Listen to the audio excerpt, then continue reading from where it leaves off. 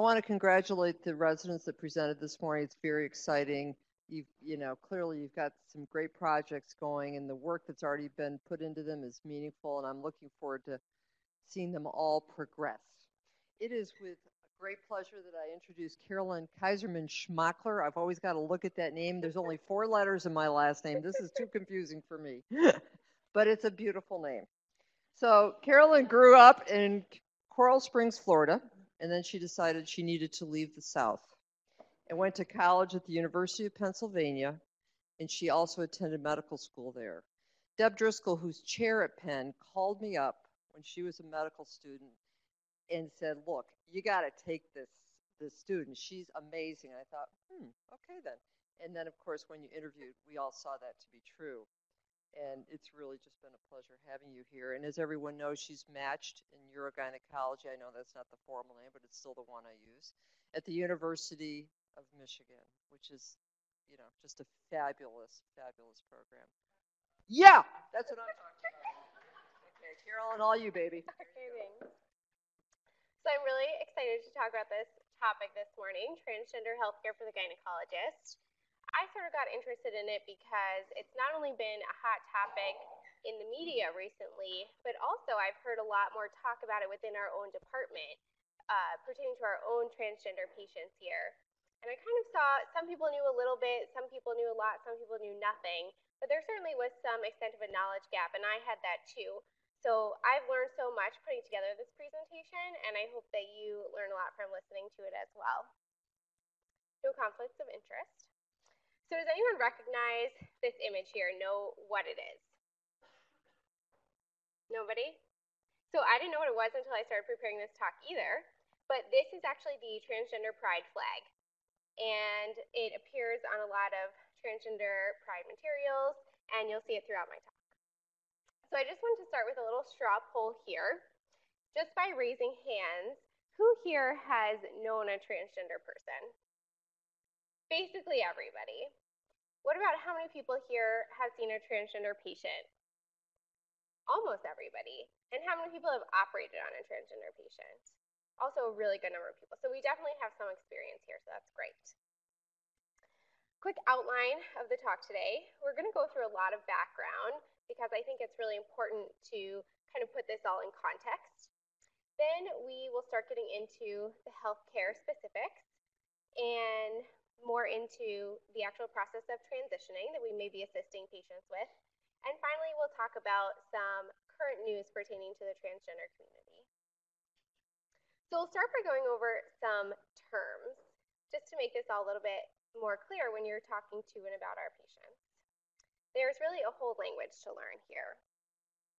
So the Oxford English Dictionary defines gender as either of the two sexes, male and female, especially when considered with reference to social and cultural differences rather than biological ones. This is a very traditional uh, definition of gender, where sex is really the biological, and then gender is the social construct. But now, the updated Oxford English Dictionary goes on to say this term is also used more broadly to denote a range of identities that do not correspond to established ideas of male and female. And this is really a more modern understanding of gender and a lot of what we'll talk about here today, the blending and, and the spectrum. So gender identity. This means our internal personal sense of what our gender is. And as you can see in this picture here, it really is a spectrum. It's not just all the way male or all the way female. There are people who feel in between, closer to one side or another, or really right in the middle. Gender expression, then, is how we express our gender on the outside, so the face that we're putting on for the world. You can express this through hairstyles, makeup, clothing, but it's really how you're showing your expression of what you're feeling on the inside. Cisgender is a term that identifies a person who feels the same as the sex they were assigned at birth. So my mother was told at the hospital, you have a baby girl. I still feel like a woman. I'm a cisgender person. On the other hand, transgender, or for short trans, the topic we'll be going over here, refers to people whose gender identity does not traditionally match the sex that they were assigned at birth. Transvestite is a term you may have heard, which actually specifically refers to people who have a preference for cross dressing, but not necessarily a desire to actually change their biological sex. Gender nonconforming, getting more into the spectrum, is a person whose gender is or appears to be different from the gender they were assigned at birth. And I put this picture here of this little boy because I just love this story. This is a little boy who's gender nonconforming, and he always told his mom that he wanted to shop at the store Justice, uh, that their little tagline is just for girls. Justice just for girls. So he always felt like he wasn't welcome in there, even though he really wanted to wear their clothes. So his mom talked to one of the managers at their local Justice, and they actually shut the store down one night for him to come shop. And as you can see in this picture, he was really excited about these clothes. So I just think that's a great story. Gender queer refers to a person whose gender is not just a man or a woman. And this is where it might get confusing and might make you feel uncomfortable if this is a new concept to you. So there are people who may feel more like a man one day and more like a woman another day. And there are people who really might feel in between, like a third gender. This is also where some of the different pronouns come into play that you may or may not have ever heard. So you can imagine someone who doesn't necessarily feel like a man or a woman might not want to be referred to as he or she. That might be uncomfortable for them. So this is where some of these different pronouns come in. Sometimes people will use they as a singular pronoun as opposed to plural. Z, A, or Z with an X. This might sound really funky to you. I really like this cartoon that probably brings up some of the questions in your head and some of the questions that were in my head as well. And this comes straight from the transgender community. So it tells you pronoun do's and don'ts. Don't respond as, what? Z isn't a real pronoun. Don't you have something more normal you can use? And don't say, but it's not grammatically correct to use they as a singular pronoun. And that's totally what happened in my head I love grammar. So it's all about respecting people's choices and not putting our thoughts or feelings onto them. Intersex is a term that refers to people born with a sex that does not typically fit the definitions of male or female due to genetic, hormonal, or anatomic differences. So, for example, this is when we might deliver a baby and say they have ambiguous genitalia, or somebody with uh, androgen insensitivity syndrome. This is refers to really more of a biological condition. Queer is a very broad term, referring to people who are not necessarily straight and or cisgender. This used to be considered a very derogatory term and has more recently been taken back by the community and used more as a term of pride. When we say transitioning, this is the process, social, legal, and or medical, that a trans person might go through to make their gender identity fit their gender expression. And this is what we may be assisting our patients with medically. And the term transsexual specifically refers to people who have completed a transition with reassignment surgery. You may have heard of gender identity disorder. And this is actually an old term from the DSM-4, which came out in 1994, quite a while ago. And it was a diagnosis for patients who would experience significant gender dysphoria and wish to live their lives as the opposite sex. You can imagine being labeled with a disorder can be distressing for someone. So the newer DSM, the DSM-5, which came out just a few years ago in 2013, has a, gotten rid of that old diagnosis and now calls it gender dysphoria. Note that uh, disorder is not in the diagnosis anymore. This is a diagnosis for distress that's caused by a discrepancy between a person's gender identity and natal sex. So very similar to the old definition, but a new term, and this is what we should be using now. And this is, of course, a diagnosis that should be given by a psychiatrist and not by a gynecologist, but it's important to understand how the diagnosis is made. So I just wanted to briefly go over the criteria, which might bring you back to med school and learning all the criteria for psychiatric disorders. but they first have to have a marked incongruence between experienced or expressed gender and assigned gender, have at least six months durations, you know, they always have a duration on these uh, diagnoses, as manifested by two or more of the following of these six indicators. So an incongruence between their experienced or expressed gender and primary, secondary sex characteristics. They may have a strong desire to be rid of their secondary sex characteristics or if they're a younger person, desire to prevent the development of those secondary sex characteristics. May have a strong desire for the primary secondary sex characteristics of the other sex or other gender, a strong desire to be of the other gender, or some alternative gender, a strong desire to be treated as the other gender, or a strong conviction that they have the typical feelings and reactions of the other gender. And again, you only have to have two of those six indicators. And then B, like all psychiatric diagnoses, it has to be associated with significant distress that affects your life. So it sounds simple, right? When I talk about it in terms of definitions and makes it all seem black and white, but really it's not. This is a really complicated topic. And people express it in a lot of different ways. So I had a lot of fun looking up infographics of how people express the spectrum of gender identity. So here shows a quite complicated Venn diagram of how gendered someone might feel. And you can see there's a lot of different places you can fall in here. Then some other person expressed it as this nice graph where you can be all the way female on one end, all the way male on the other end, agender in one corner, and possibly genderqueer or bigender or some other third gender in the other corner, and then anywhere in between. I also love the genderbread person, which appears a lot. Um, and this includes some other factors in it as well, that your whole gender is going to be include your physical sex, your gender expression, gender identity, your romantic orientation, and sexual orientation. And they all can come together in different ways. Another really popular expression is the gender unicorn, which I've seen a lot and is cool.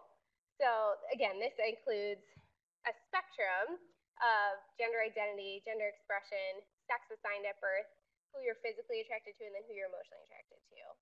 And any one person can fall anywhere on all these arrows. So this kind of creates like infinite combinations of how someone might feel about their gender and their sexual orientation.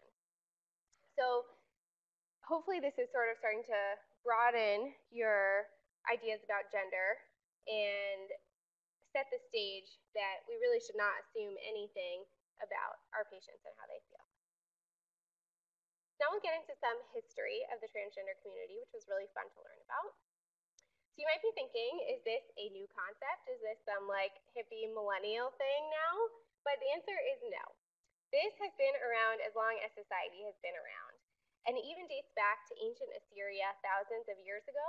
There are examples of people who were born as men who functioned in women's roles and often as prostitutes, but also would participate in public processions and sometimes simulate giving birth.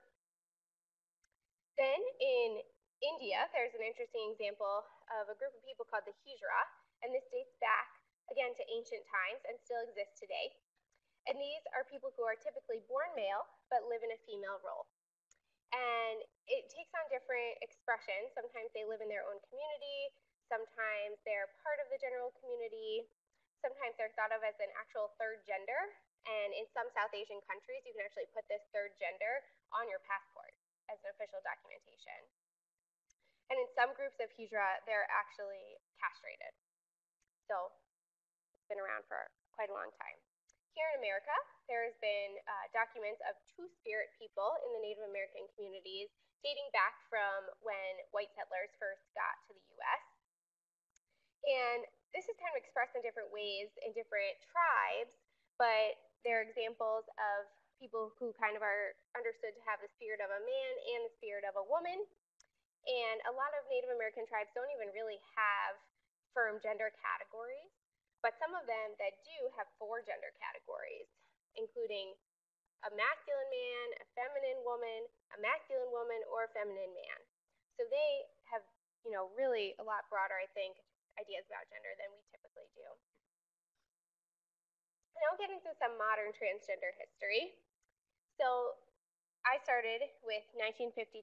This actress, Christine Jorgensen, was a trans woman who really brought a lot of trans awareness because she came out and was a public figure and started getting people aware of this condition. Jumping ahead to 1969, the Stonewall riots, I believe, were very important. So the Stonewall Inn was a very common gathering place for transgender individuals. And when riots broke out in 1969, this was really considered to be the birth of the modern LGBT movement.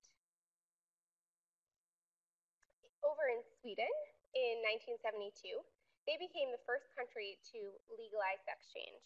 That's a long time ago, so they're pretty progressive. Back to the US, in 1977, some of you might remember Renee Richards, who was a professional tennis player, transgender woman. And in 1977, the New York Supreme Court actually ruled that she could play in the Women's League of Tennis.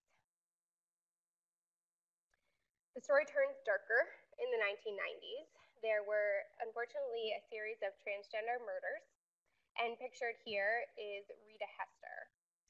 One year after her death in 1999 became the first annual Transgender Day of Remembrance, which is still celebrated every November.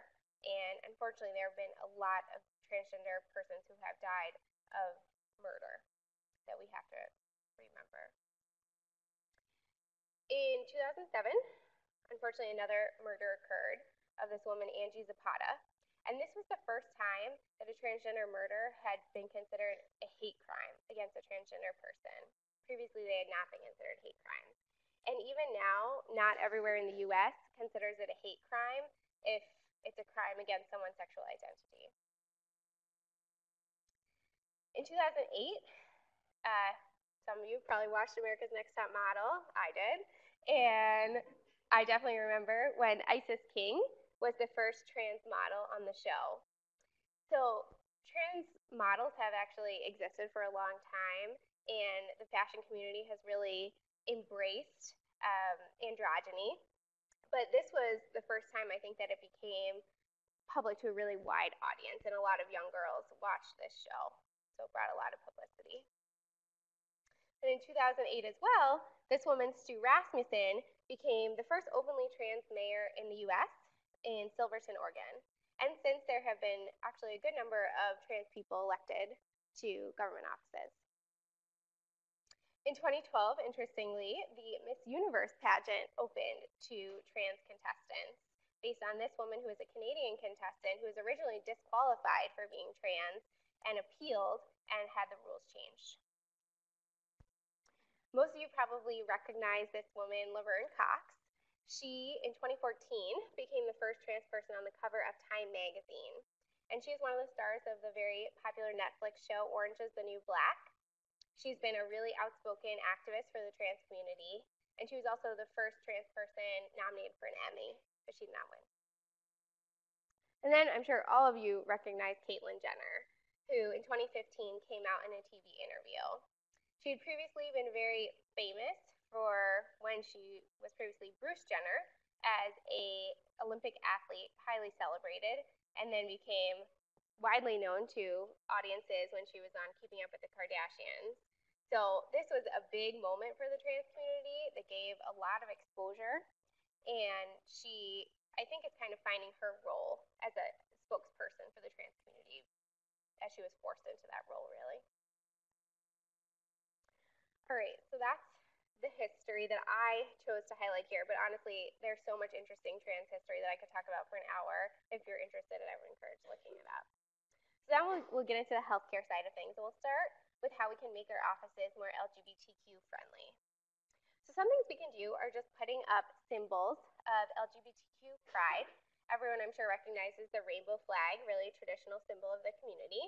Maybe lesser known is the pink triangle, also a symbol of pride, with a sad history that this was the symbol that the Nazis forced gay men to wear in concentration camps and has now again been taken back as a, as a symbol of pride for the community. And then we can make sure that our restrooms are unisex because choosing which restroom to use as a transgender person can be a very sensitive issue. We can also make sure that along with all of our walls of pamphlets, we have some pamphlets out about LGBTQ health. And these are easy to get from a number of organizations. We can also display a non-discrimination policy so that our patients know outright that they will not be discriminated against for their sexual identity, gender identity. And in our waiting rooms, we can make sure that we have magazines that focus on LGBTQ issues too. I just took a brief look around the Arboretum Clinic yesterday, and the only one of these things that we do is the unisex bathrooms. So we have a ways to go to make our office more LGBTQ friendly. And we do have a lot of LGBTQ uh, patients in our Arboretum Clinic, so I think this is something we should focus on. Next, we'll talk about how you can open a dialogue with your transgender patients because you might just kind of be wary of what do I say? So some suggestions are first and foremost, ask about their pronoun preference. This can be a really sticky subject for our trans patients. If you use the wrong pronoun, it can make them feel really misunderstood. So just ask outright, what pronoun do you prefer? Again, you cannot assume anything about your patients of what they might prefer based on what they look like. We should use gender neutral language to talk about relationships and avoid making assumptions about the gender of the partner. So just because someone is a transgender female to male, you have no idea whether they're having sex with men or women or both, and don't assume. And you can use words like partner instead of spouse or girlfriend or wife or something like that. Always just ask about previous hormone use and gender confirmation surgeries because we don't know how to best treat our patients unless we really know what medications they're on, which would be hormones, and what organs they have or do not have, uh, which may have come from gender confirmation surgeries. We should, I mean, always ask non-judgmental questions about sexual practices and behaviors. But again, this is just going on that same note of don't assume what kind of sex that your patient is having. Just ask. You can know better what they're at risk for if you know what kind of sexual practices they're engaging in. And if some unfamiliar terms come up, just ask to clarify. You might feel embarrassed about asking, but it's really better to know than to just be embarrassed and not say anything and then not really know, again, what the risks are. And then finally, it's okay to express your inexperience and as long as you express willingness to become educated. So, for example, as happened the other day, if a transgender man comes into your clinic for colposcopy and you're like, I've never treated a transgender person before, I don't know how to deal with this. I mean, you can express that and say that you want to learn more and maybe refer them to someone who who has more of an interest in this community. Now we'll talk about some of the health risks specific to the transgender community, which we need to be on the lookout for. And a lot of these come from this very large survey study that was called the National Transgender Discrimination Survey Report on Health and Healthcare, and it surveyed over 7,000 people who were transgender and gender nonconforming. So one of the results here, when they asked about seeking medical care, they asked how many people or healthcare providers know or believe you're transgender or gender nonconforming. This was kind of shocking, shocking to me that 21% of them said none of their healthcare providers would know. And really, how can we treat our patients best if we don't even know that they're transgender. And only 28% of them said that all their healthcare providers would know. So you might think, why might they not tell me? Well, this is really the answer. There's a lot of discrimination, unfortunately. So in this total sample of patients, 19% of them said that they had experienced refusal of care based on their gender identity. This is very sad. And the higher number are in our male to female transgender patients, but still significant in our female to male transgender patients. Um, and this can lead to avoiding medical care, as we see here. So this question asks about postponement of care due to feeling discriminated against by providers. And again, a pretty high rate. So if we look at our female to male patients in the second column, which is mostly of what we'll see, 42% of them reported postponing needed care And then almost half of them reported uh, postponing preventative care, things like screening tests, which we know are extremely important. HIV, obviously a big deal. Bigger deal in this population than the general population as well. So you can see in all the way on the left side, in the general population, there's about a 0.6% HIV prevalence, and then in this survey, 2.64% of the patients had HIV, which is about four times the rate of the general population. And you can see all the way on the right that it's by far the highest in the African American transgender community. And a lot of this risk comes from transgender people turning to sex work to survive. Substance use, also more of a problem in the LGBT community rather than the rest of the population, more than twice as prevalent. And a lot of patients have expressed that they use substances to cope with the depression and the discrimination and the feelings of isolation that they experience. So this is something that we should be screening for and referring for. Going along with those feelings of suicide and isolation or depression are suicide attempts. Much higher in the transgender population than in the general population. So you can see in this sample, 41% of them had stated that they had ever attempted suicide. Compared to in the general population, it's just over 1%.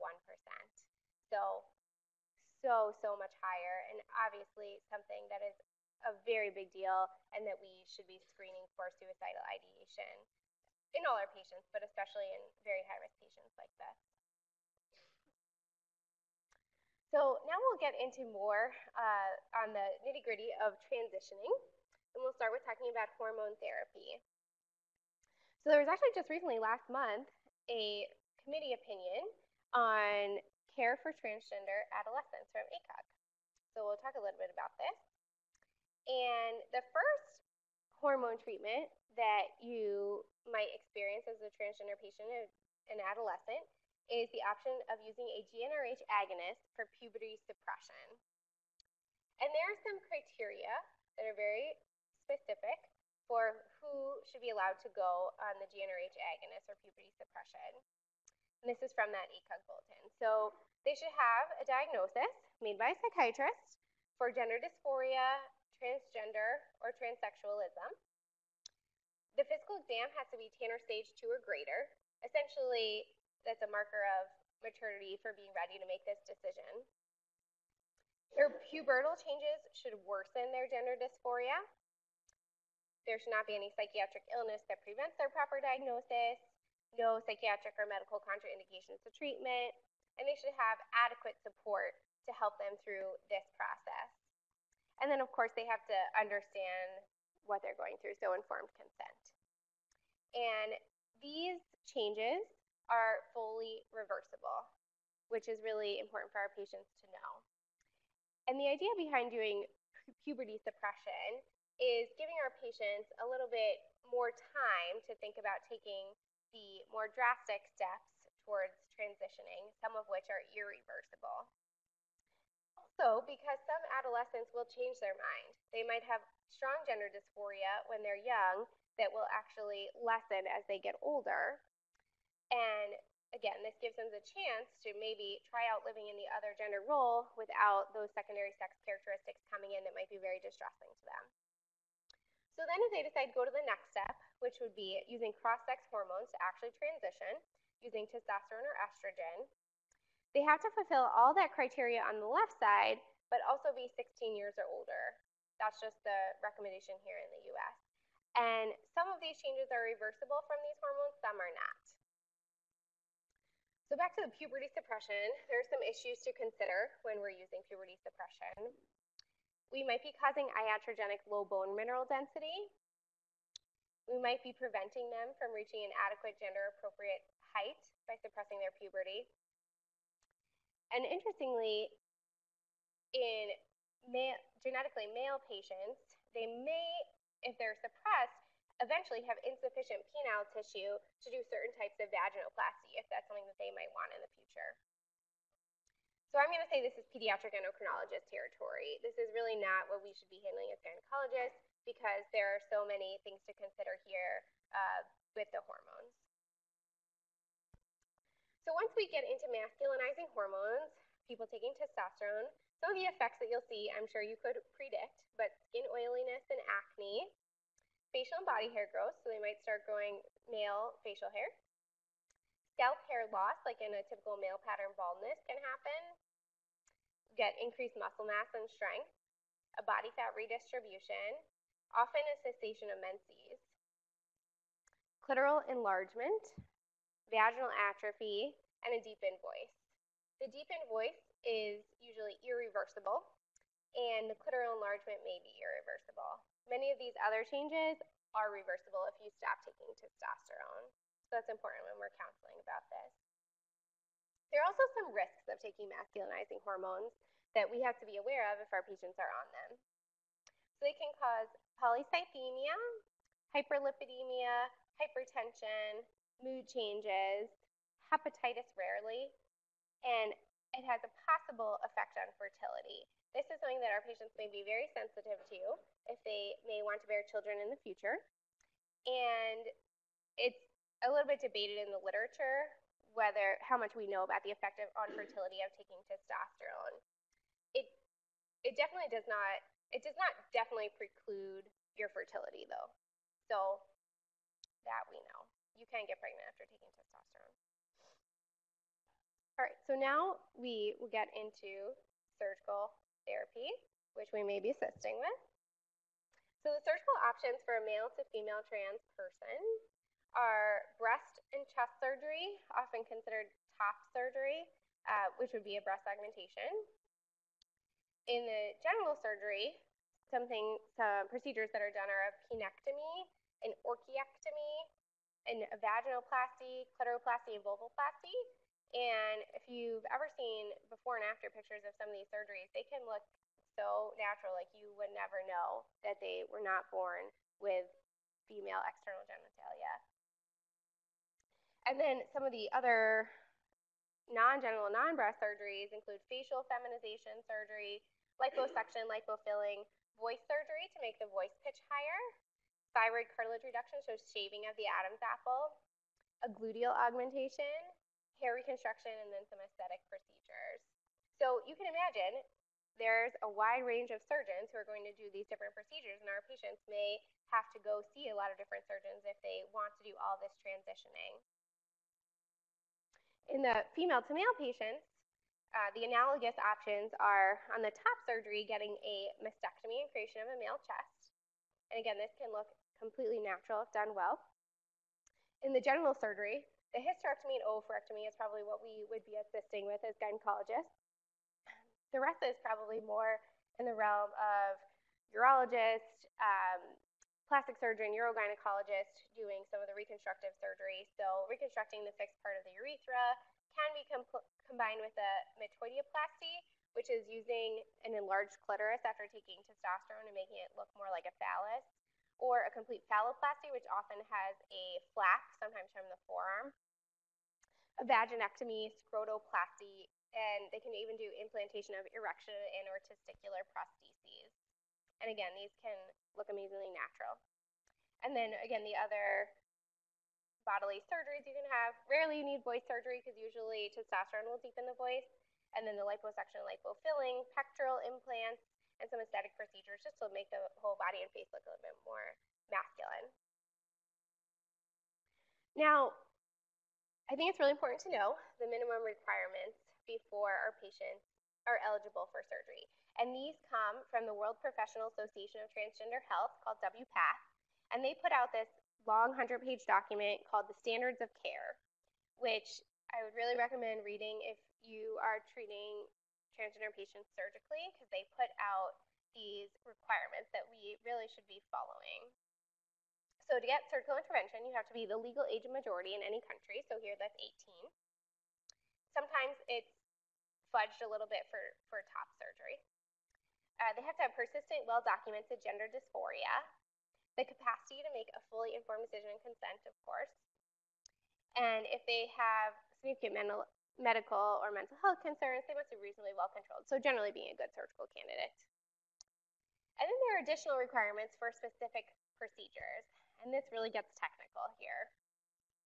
For uh, hysterectomy BSO, they really should be on 12 continuous months of hormone therapy as appropriate to their gender goals. Unless, of course, they have a contraindication. And for the bottom surgery, in addition to that, they should have 12 continuous months of living in a gender role that is congruent with their gender identity. And I think this is really to make sure that the patient definitely wants these irreversible changes to their body. There are also mental health requirements for each of these procedures, which we have to rely on our psychiatric colleagues for. So for chest surgery, they're required to have one referral from a qualified mental health professional. And then for bottom surgery, they're required to have actually two referrals from mental health professionals who have independently assessed the patient. So we are going to be looking for these letters if we're doing the surgery, and we should know what should be in the letters to make sure that they came from a qualified mental health professional. So they should include general identifying characteristics of the patient, results of any psychosocial assessment, including any diagnoses they've been given, their duration of relationship with the patient, an explanation that the criteria for surgery have been met, and brief description of clinical rationale for supporting their request for surgery. A statement about informed consent, and a statement that the mental health professional is willing to really work with you and have a relationship with you as the surgeon. So they have to do, I think, a lot of the legwork here in making sure that this patient is qualified and has gone through all the appropriate steps. And then if we're satisfied with those letters, we can feel comfortable going ahead and taking the responsibility of doing the surgery on the patient. So then you're probably thinking about whether there's insurance coverage for these procedures. And this is a really hot topic and it's constantly changing. But I like this map from the Human Rights Campaign website that shows general uh, health insurance coverage for transgender surgeries. So in the dark blue, it shows states with bans on insurance ex insurance exclusions for transgender healthcare. So they're saying any insurance in the state has to cover it. And that's only Colorado, Illinois, and Vermont. In green are the states with transgender inclusive health benefits for state employees. So that's just Maryland and Minnesota. And then finally, the light blue are states that have both of those. So really the most inclusive states for transgender healthcare coverage, and that's the entire West Coast plus um, New York, Connecticut, Massachusetts, and DC. You can see Wisconsin does not have any of these things. So there's essentially no protections for needing to have any kind of coverage for transgender healthcare. So it's going to differ insurance by insurance carrier. And I also recommend going to this website, the Human Rights Campaign, if you're interested in kind of statewide rights for LGBT issues, and they have all these fun interactive maps that you can look at. So finally, we'll talk about some general OBGYN care for our transgender patients.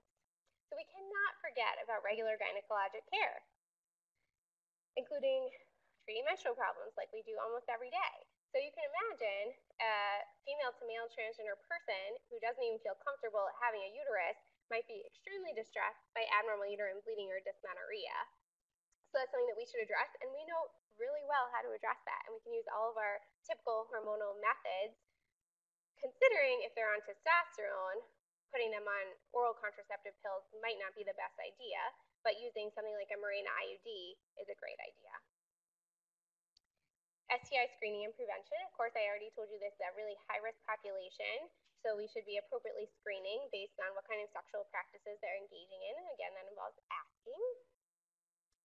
Our cancer screening. Again, our patients might feel uncomfortable and might, might have delayed screening for many years, but we want to make them feel comfortable so that they'll come in for their regular screening. And we know if you have a cervix, you need to be getting PAPs. If you have breast tissue, you need to be getting breast exams and mammograms. And that even involves male to female transgender patients who are taking estrogen, they can still develop breast cancer and they might still be BRCA positive. And these are things that we have to consider. You might never expect a male to female transgender patient to come to your office as a gynecologist, but for some people, it kind of affirms their gender role going to the gynecologist. So we should embrace those patients as well if they choose to come to see us. Contraception, big deal. So someone on testosterone who's not getting periods might feel like they cannot get pregnant. But obviously, we all know that you can get pregnant if you have a uterus and you're having sex with a genetic male. So contraception is something that we should bring up and talk about the risk of unintended pregnancy, which might be distressing for someone or might be what they plan. So transgender men have babies too, and we may be seeing them in our clinics and on the OB floor. So we should be sensitive to these issues. I did find a good study on this. There's really not a lot of studies on transgender pregnancies, but this one was a survey study of transgender men who got pregnant after transitioning. And they had a total of 41 transgender men complete the survey been pregnant and delivered after transitioning. And they collected some quantitative and qualitative data that I'll share kind of the highlights of this. So 61% of them had used testosterone before pregnancy. So clearly you can get pregnant after using testosterone. And among those had used testosterone, 80% resumed menses within six months of stopping testosterone. So that's kind of something maybe we could quote our patients if they're asking about when they might resume menses. And five of them, or 20% of the study, conceived while still amenorrheic from testosterone use. So again, that's getting at that unintended pregnancy rate. Participants who had previously used testosterone were more likely to prefer the pronoun he, whereas those who had not used the testosterone in the past were more likely to identify with they. So again, just getting back to asking what pronouns our patients prefer. Two-thirds of them were planned. Only 15% had a preconception medical consultation. And again, I would probably like these patients to have a preconception medical consultation because they have different issues than the general population, but they, like we talked about before, often feel discriminated against and might feel really uncomfortable about talking to someone about this. Their pregnancy, delivery, and birth outcomes did not differ at all according to prior testosterone use. And then they asked some open-ended questions too about effect of the pregnancy on concepts of family structure, feelings of isolation, gender dysphoria affected by pregnancy, and their interactions with healthcare providers. So I'll just share some of the quotes that stood out to me from this study.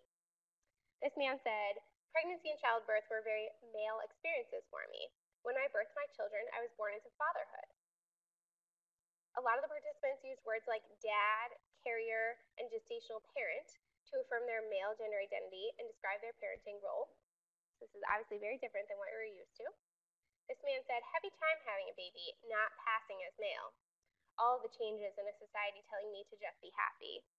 So this is, you know, something that make make you feel really uncomfortable that you're used to the world looking at you as male, and now all of a sudden you have this big pregnant belly, and people are like, what what is this? And that could make you feel really uncomfortable and isolated.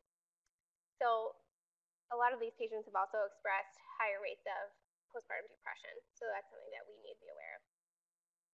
This man was happy. He said, I was always called he, I was always called dad, and my body parts were always called by the words I used. This comes up a lot. That the highest dissatisfaction, it seems, with healthcare is when patients are not called by the pronouns that they want to be called by and not using the language that they prefer.